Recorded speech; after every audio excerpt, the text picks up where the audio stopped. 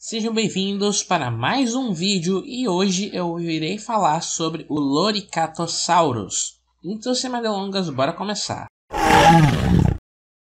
O dinossauro herbívoro Loricatosaurus priscus, também conhecido popularmente como Loricatossauro, foi um dinossauro da família dos estegossauros, herbívoro e de quatro patas, que viveu onde hoje é a França e Inglaterra durante 164 a 161 milhões de anos atrás, ou seja, no período Jurássico Médio.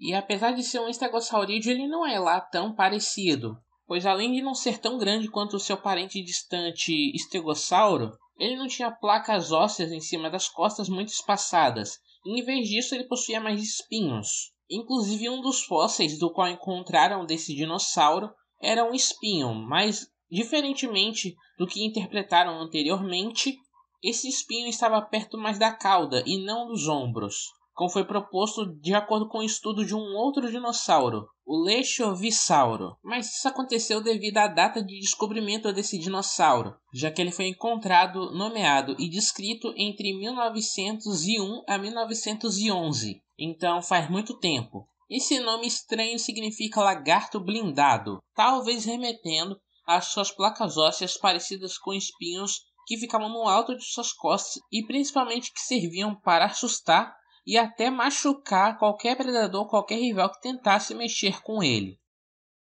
É isso. Se gostou, deixe seu like e se inscreva no canal para participar da comunidade, ok? E é isso, eu vou ficando por aqui. Um abraço, muito obrigado por ter ficado até aqui no vídeo e até a próxima.